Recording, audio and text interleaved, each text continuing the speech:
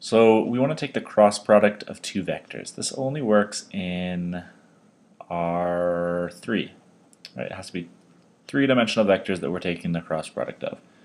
So let's pick some vectors. Let's have, let's say, make that bold. We'll have vector x uh, is equal to, we'll say it has the components x1, x2, x2, and x3. And we'll have the other vector, let's call this vector y. Make it nice and bold, and y will be equal to um, y1, y2, it's going really slow, and y3. So there we go. We have two vectors, and we want to take the cross product of these vectors. So how we do that is we can write over here I guess maybe I shouldn't have used x as a vector, but that's okay. We'll just put vector notation over top of it. x cross y, vector y. Now the way we do this is a little bit strange. Um, it's not quite the same as we've been doing like uh, vector addition or um, scalar multiplication or anything. It gets a little bit more confusing than that. So how we do this is we're going to get another vector um, with three components, and it's actually going to be orthogonal to both of these, but we'll see that later in the video. So to get the first term, or the first component, uh, how we do this is it is we ignore the first component here and we look at the second two. So we'll have x2 times y3 minus x3 times y2. y2. Now we'll just ignore the middle component here for a second because it's a little bit more confusing. But the second or the third component here, we do the same thing. We ignore the third component here from the, the original vectors, and it'll be x1 times y2, x1 times y2, minus uh, x2 times y1, x2 times y1. All right, we'll close the bracket here.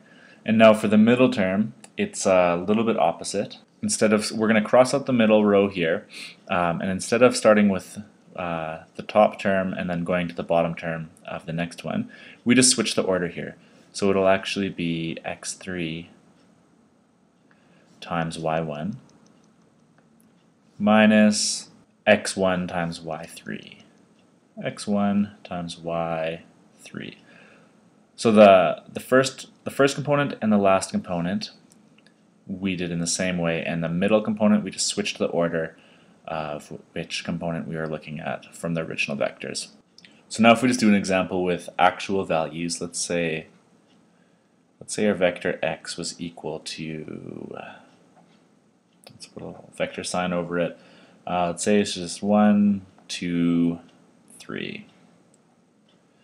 Let's say vector y was equal to, say, uh, negative 4, 5, 6.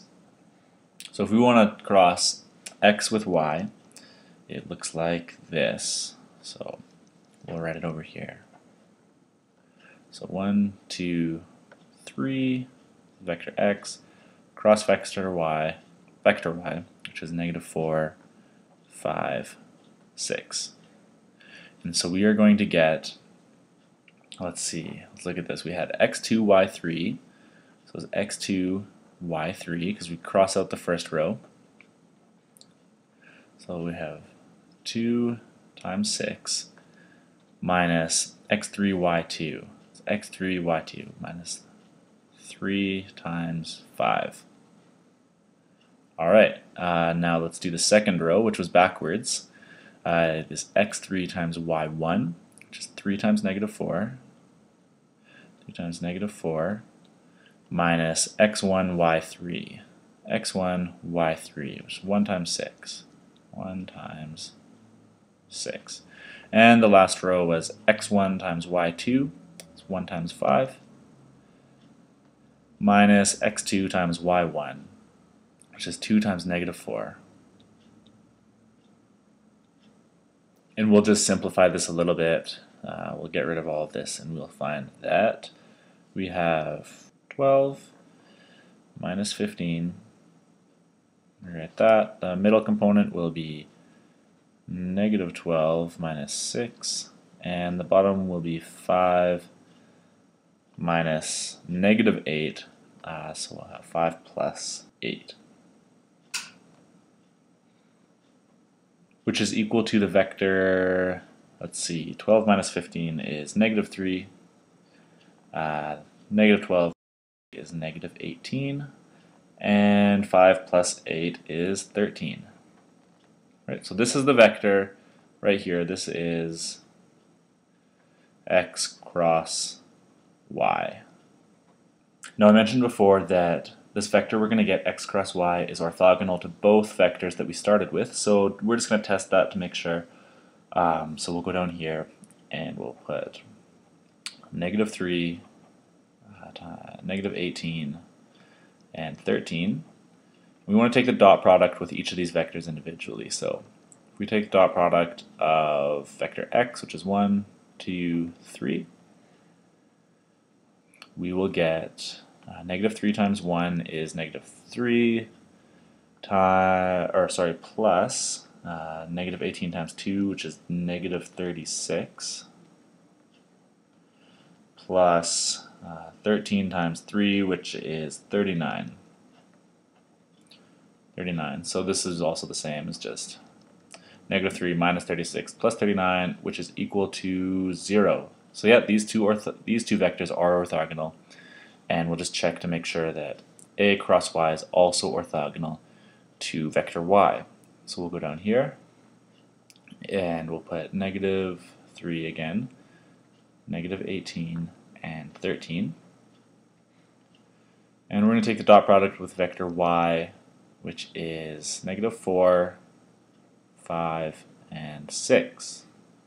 So what do we get? Negative 3 times negative 4 is positive 12.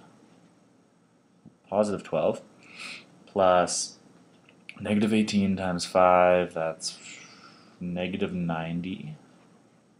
Negative 90. So we can also, or we can just subtract 90 from that. And 13 times 6, that is 78. Plus 78. And we'll look at this, 78 plus 12 is 90, 90 minus 90 is 0. So there you go. A cross y is orthogonal to vector x and vector y.